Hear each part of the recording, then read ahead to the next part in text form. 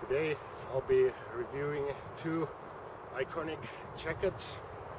This uh, American flight jacket, that's my uh, normal camping jacket. The other one that I also occasionally use is this Soviet Army Telogreika. These are both kind of uh, same waist length padded jackets, both old designs. This uh, MA1 bomber from the 50s and uh, Telogreika Soviet from the early 30s.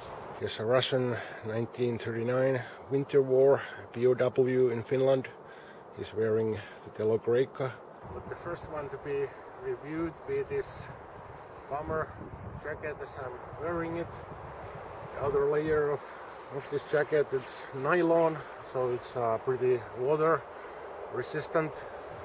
And uh, we got a we got knit cuffs and uh, knit collar and uh, knit waistband. And uh, we got a good heavy duty zipper. And uh, we got two snap closer pockets outside and uh, two two inside. And uh, we got this pencil pocket and like you saw the lining it's it's orange. So I can uh, reverse this jacket to signal to any rescuers if if need be. The Soviet Greyka this and, and the MA1 are both warm jackets.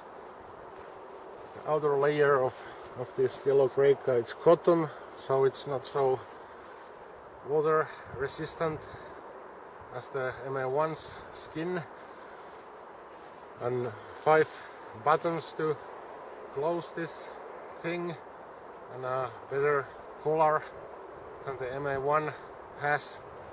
This is a standing collar fitting up around your neck and uh, the sleeves can be buttoned, closed and uh, you know the weakness of this jacket are these pockets.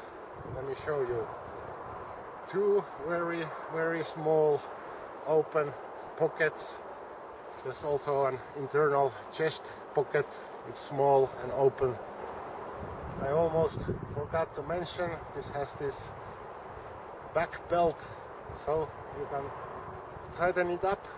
You know this jacket somehow represents typical Soviet mentality it has to be easy to manufacture, low cost, bomb proof, no matter the aesthetics. I, uh, I guess no wonder the fashion industry has not adapted this this jacket. Let's see the label for anyone interested.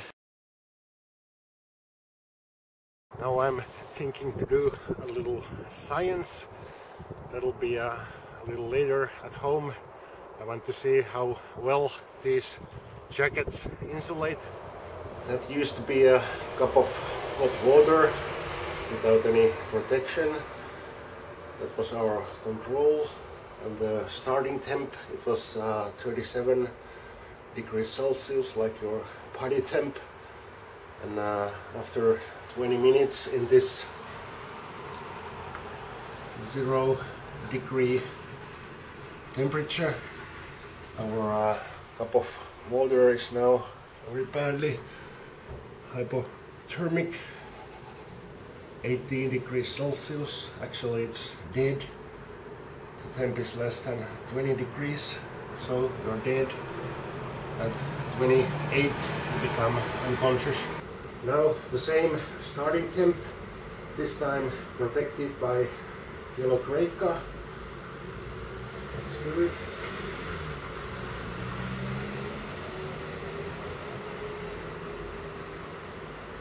Of course the cup of water doesn't generate any heat as your body would, but uh, let's see.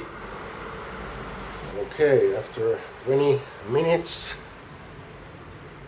it's uh, 33 degrees Celsius. Okay, let's try the bomber jacket.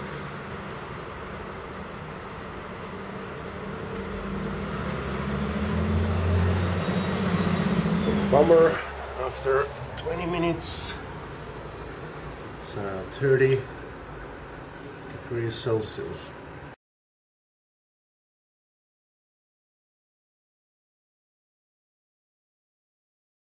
So the Russian Yellow body warmer, it won, no, uh, no doubt about it.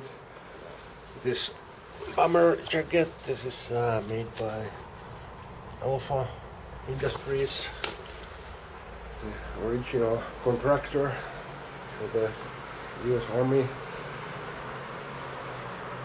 Okay, thanks for watching.